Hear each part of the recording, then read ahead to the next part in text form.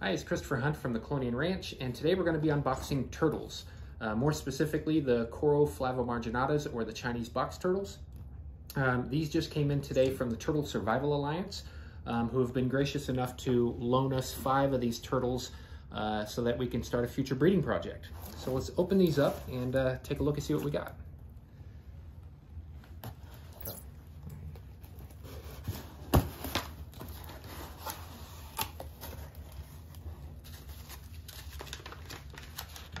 This will be our paperwork.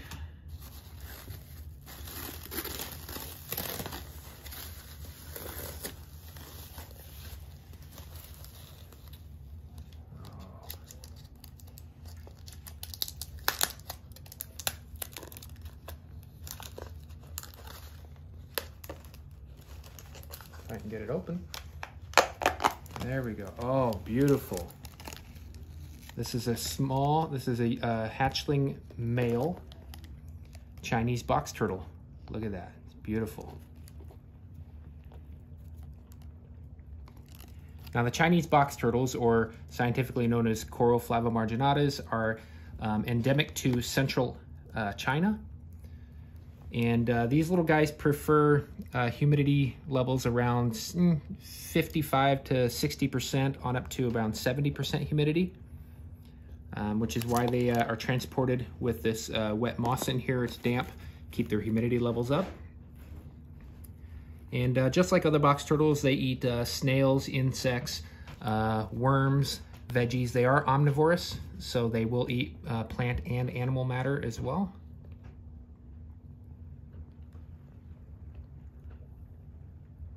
Beautiful. I'm just gonna go ahead and check on another one just to see how it's doing. So they've loaned us three females and one male. And so the way it works is these turtles are on loan to us forever um, until they request them back. And uh, we raise them and then uh, we keep track of all of the, the turtles that breed. Uh, and I'm sorry, they give us four females and one male. I apologize. Um, and we keep, uh, you know, um, we raise them up and, and breed them once they get old enough and mature enough and then we get to keep part of the hatchlings, 50% of the hatchlings, so that we can continue um, breeding them on our own. But these uh, five turtles that they've given us do belong to the Turtle Survival Alliance, and uh, we're just stewards to uh, take care of them. It's a little female. Now, the Chinese box turtle, right now, you can't really tell because of the size, but um, it is a box turtle, so it does have a uh, plastral hinge that it will be able to um, move and actually pull itself into its shell like other box turtles do as well.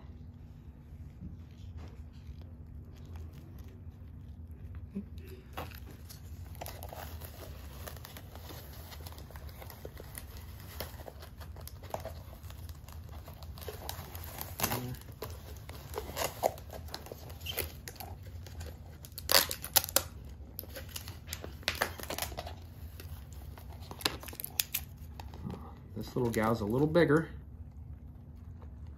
but still a beautiful hatchling. Look at that. Gorgeous. So what I'm gonna do here in just a little bit, once I uh, check on the last bit of the turtles here, is I am going to uh, give them a soak, even though they've been in um, uh, this wet moss, the sphagnum moss here. Um, I am going to still give them uh, a soak just to make sure that they are in fact fully hydrated and I'll probably offer them a little bit of food before I put them in their permanent enclosures.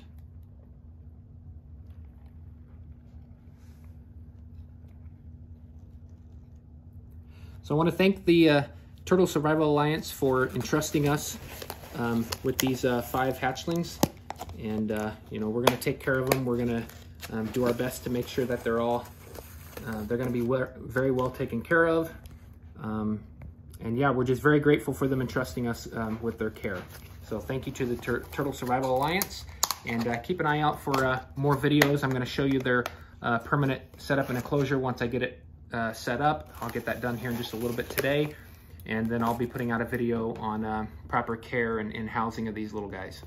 So um, like and subscribe if this helps you out. and keep on on our channel for more. Thanks.